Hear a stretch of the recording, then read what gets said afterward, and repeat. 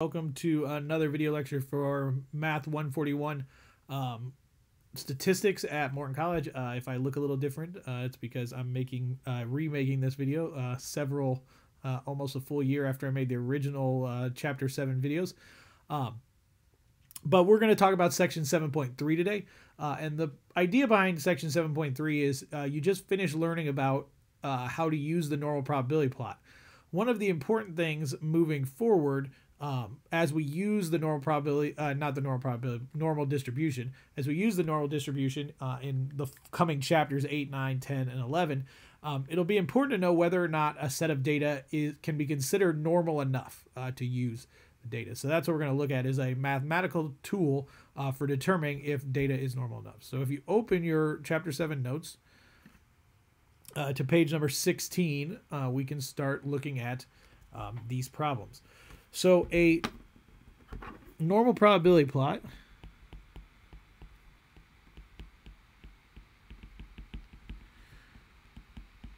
is a graph that plots observed data versus normal scores. A normal score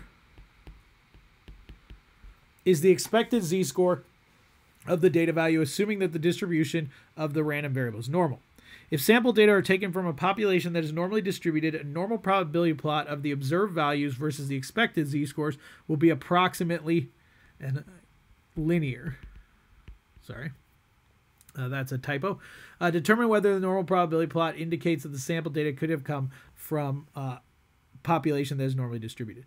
So these are examples of uh, graphs that come from a program called Maple. Um, and in Maple, the idea is all the data needs to fall within these blue lines. So the middle blue line is exactly normal, and then the curved blue lines are um, the margin of error for whether or not we're going to. So in this first example here,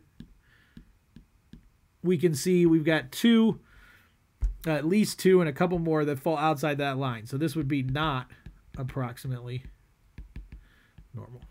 Okay, and so that's all there uh, you have to do when you're looking at one of these that comes from something like this program Maple.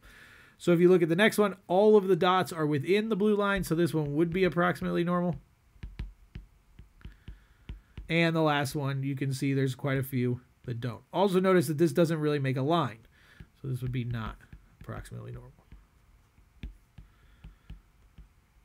Okay, so that's the idea when you're looking at a graph from a program like this. So go ahead and take a look at the next page and you can determine this for yourself, whether or not you think these are approximately normal. So pause the video and try that real quick. Okay, so now that you've tried that, uh, you can see, um, we can see that the first one is not approximately normal because it's got at least one data value that falls outside these lines, and the other two are approximately normal. Because all of the data values fall within the boundary lines. Okay, so that's the idea.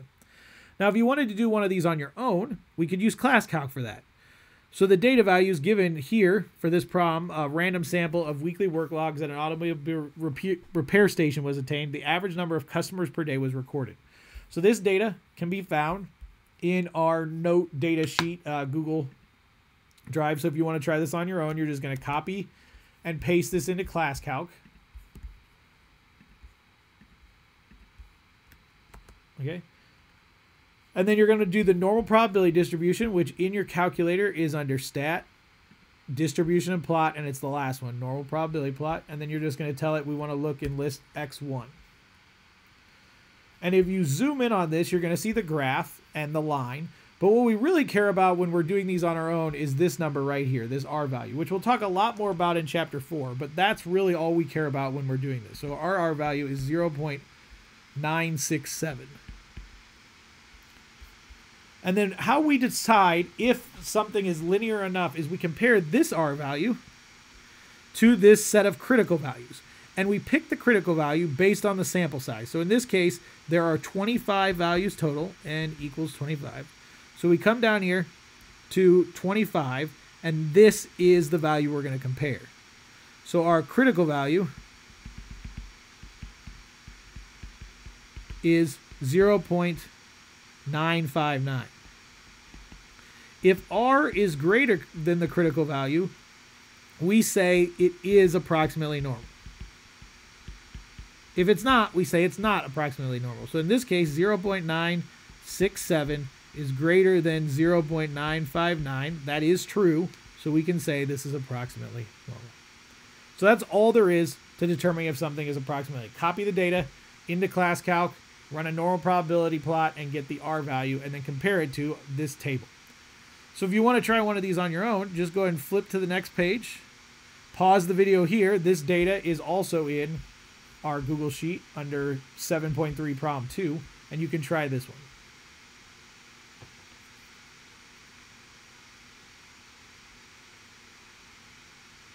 Okay.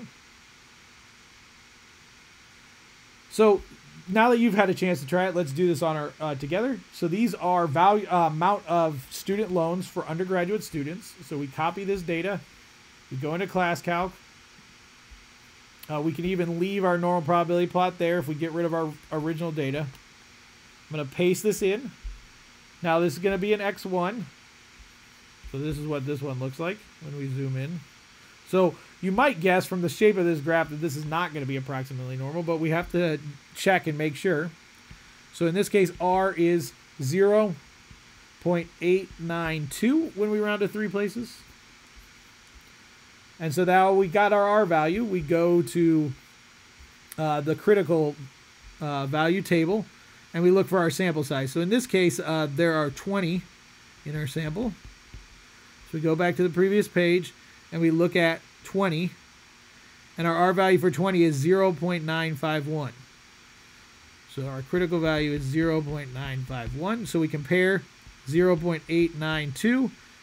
Is that less, um, sorry, is that greater than 0.951? And the answer to that is no. So this would be not approximately normal.